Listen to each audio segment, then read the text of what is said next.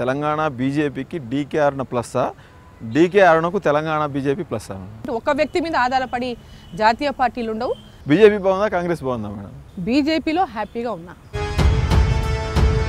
తెలంగాణ ఇచ్చిన కాంగ్రెస్ పార్టీకి సాధ్యం కానిది. బీజేపీకి ఎలా సాధ్యం అవుద్ది అనుకున్నారు మీరు?